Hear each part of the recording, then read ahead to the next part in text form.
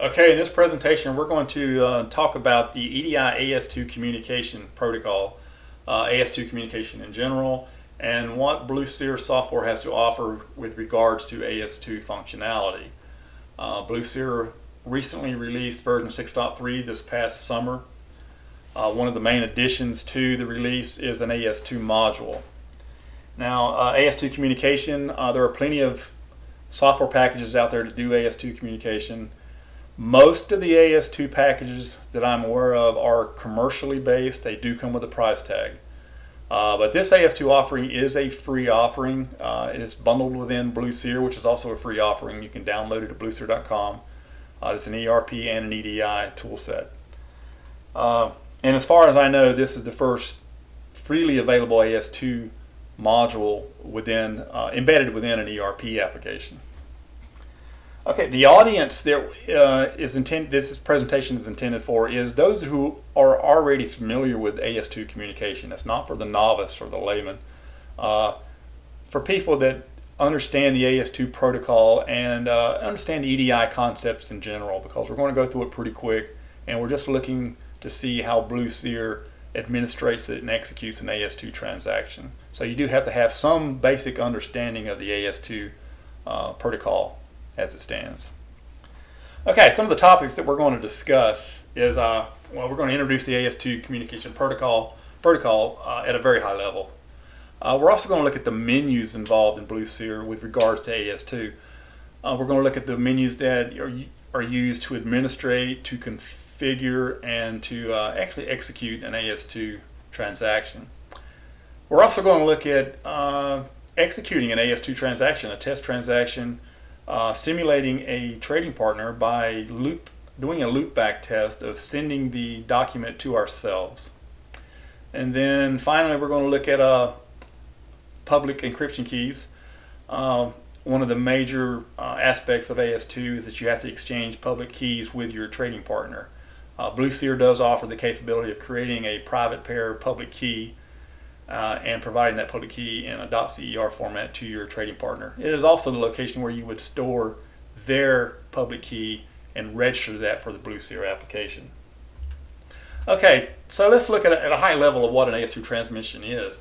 Uh, it's essentially an AS2 HTTP post from one server to another. Uh, it transfers that you post the document, it could be a purchase order, it could be an invoice or whatever, uh, over an HTTP post protocol and then you will receive back uh, what is called an MDN uh, that verifies that, that it's received. Now, AS2 is a push system only, so for you to get documents back other than the MDN, for you to get a 997 acknowledgement, for example, or an invoice, they have to push to you. Uh, it is not a situation where you can connect to their server and then do a get or a, uh, a retrieve. Uh, this is a one-way only, AS2 push only. Uh, you have to push your documents to your trading partner, and the trading partner has to push their documents to you. So, with that said, that it implies that there is there's a push mechanism on each trading partner, and there's also a listener mechanism uh, for the AS2 transmission. Okay, so to set up a new AS2 configuration for a, a new trading partner, uh, there are really three things that are required uh, and, its, and its documents have to be exchanged between both parties. So each trading partner would have to exchange these documents. And that is, uh, the first one is uh, your AS2 ID. So each partner has an AS2 ID and you would exchange that. You would also exchange each partner's uh, listener URL. So you would have a URL and a port that you are listening for AS2 transactions on, and then they would have a, a URL with a port that they are listening for uh, trans AS, AS2 transactions. So you would exchange that information. Then you would finally exchange the uh, your public key certs. Um, this is one of the, the bigger aspects of AS2 communication is the exchanging of the public certs for signing and for encryption of the document because AS2 uh, by definition is, is a secure transport of the document or at least should be a secure transport of the document. Okay, um, now let's let's uh, look at launching BlueSeer. We're going to launch BlueSeer and we're going to walk through some of the menus that administrate uh, the AS2 functionality. And then we're going to also actually do a, a loopback test to show the uh, an example or dem demonstrate an example of pushing an AS2 document to a trading partner, which we will simulate as ourselves, and then receiving back that MDN. Okay, this demonstration is is on this uh, for this demonstration we're doing this on a Linux OS, uh, Linux Mint version 20 if I remember correctly. And I have already installed the BlueSeer application here. This is the path where it is and this is the directory structure of BlueSeer on a Linux environment. Now, it's important to say that uh, if you downloaded the Windows version, uh, the procedures and processes and the concepts that we're talking about here are exactly the same. Uh, you'll just have your own um, Windows environment versus the Linux environment. Uh, the listener service that we will kick off here, and I'll show you that uh, in a few minutes, uh, is exactly the same. And the command to do that for the Windows and the Linux environment. So let's uh let's start up let's fire up uh, BlueSeer. The username and password is admin and admin respectively for your initial uh, launch. You'll you will want to change that password in a production environment. That kind of goes without saying. Um, oh, and one other note too: when you do first download BlueSeer and you first launch it, there is a dialog box that will be prompted for you. And in that dialog box, it's asking you for the country of origin.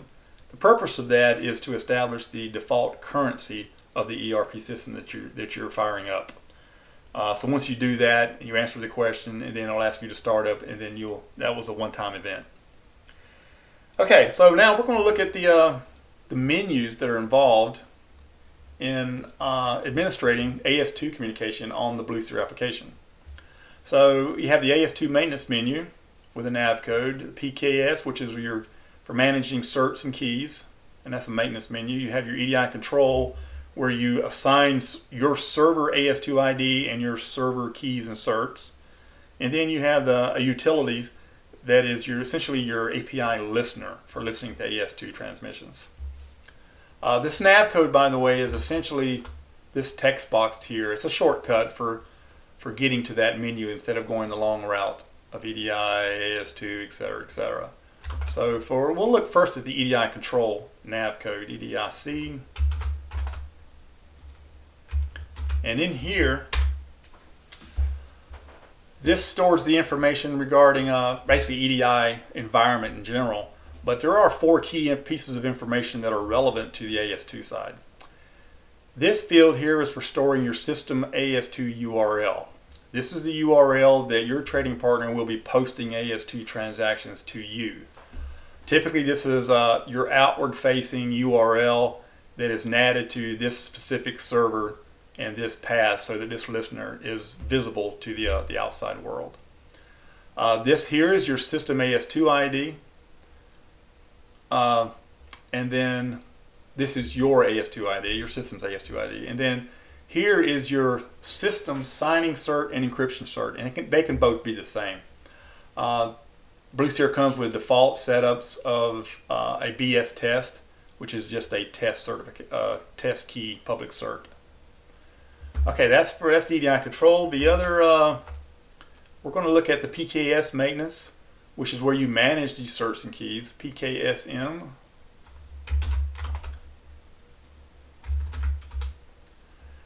And if you look at some of the, uh, I've got a few stored in here already. This comes by default. Uh, this is the one we were just looking at in the EDI control file. Uh, this is a default key for, for testing with. And it's a key pair, it's your private key for your server. Uh, you can actually view the public key aspect of that. And this is the key that you would provide to your trading partner. This is the public key itself. You can cut and paste this out or you can actually export to a, this to a file and then provide that to your trading partner. Uh, you can also set up a, uh, once your trading partner provides you with their public key, you would want to register that here. So you would say, uh, new company, new code, uh, description, new company, and you would want that to be type PEM. Key pair is for internal, store is basically a stored a location to store these key pair, and then PEM is what you would use for your .cer and .ders that your trading partner provides you. So typically your trading partner will provide you with a zipped file of a .cer, which is in PEM format, and then you would store that format on a file drive somewhere. So in this case, I do have a test one, and it is located in EDI certs, and I called it customer cert. So what we would do is EDI certs, is it certs or cert, certs, slash customer cert.cer. And if you look at that cert, by the way, it looks just like the other one.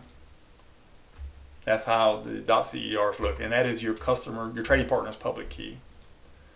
Okay, once you have that, you click Add, and now you have your trading partner's public key registered for use in the AS2 maintenance module. So now, one of the other menus, uh, the most uh, important menu is the AS2 maintenance menu. And this is where you maintain the configs of your AS2 partners and where you actually execute a AS2 push. So we're going to, what is the nav code? AS2M, AS2M. And we're going to simulate the creation of a new AS2 trading partner. Uh, we just created the, uh, we registered their cert as new code, if I remember right. There it is. And they're, they're going to say it's the same thing as their signing cert. So that's one piece of information. The other information is their AS2 ID, and we're just going to assume it's new code ID. And then you need their URL, their port, their path, and their protocol. And we're just going to simulate that as well. Uh, newcode.com, port 4080, path, uh, AS there, path to their AS, AS2, uh, an HTTP protocol. And then we're going to click. So once you've added that and you've added the AS2 ID and you've added their encryption, their uh, public key cert, that is the three pieces of information that is required to set up an AS2 configuration. Uh, then you can just click Add. Uh, field cannot be blank. Oh, description. New code. Yes, description. Click Add. And now that should be registered in the AS2 maintenance. Uh, that's the wrong one I just did. There we go right there. And that's it. That's the configuration for an AS2. Now, most of the time, uh, there are other things that you have to set up, but it's not necessarily dealing with the AS2 configuration. It's dealing primarily with firewalls. Uh, and that's one of the headaches of AS2 uh, setups for, for new trading partners is that your firewall and their firewall has to be commensurate with receiving transmissions of this port and this protocol and this URL uh, through your firewall and through their firewall. Uh, AS2 can be very complex, particularly when it comes to firewalls. Uh, but once you have the config set up, 99% of your problems are going to be with firewalls. And once you've got past the firewalls, the transmissions will work like, clockwork. Okay, so that's that's set up, uh, but we're going to look at the uh, the loopback uh, record that we already have installed here. And so what we're going to do, this is a loopback configuration that I have set up for submitting a transaction to ourselves. And uh, this is the URL, localhost, this is the port, and this is the path, and the user ID is BS test. The certs have already been assigned. So uh, clicking run here will actually push a document to that URL, to that path for that user ID. And essentially the document is going to be any documents that are in the source directory. This is the source directory and currently right now in this source directory we have uh, AS2 out, we have a file called empty.txt. Uh, so when I click run here, it'll push documents out of this directory to this URL and simulate it as our customer, but it's really to us. So it'll actually land back in this destination directory. So we should see a file drop into the in directory and then be removed from the out directory.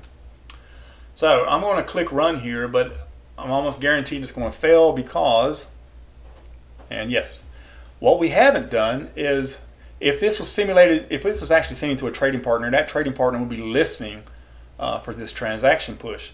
But we are sending this to ourselves and we didn't start up the listener. So what we're going to do, that's why it said connection refused or timeout from server. So what we're going to do is start up the listener. And I have that preset up here. Starting up the listener,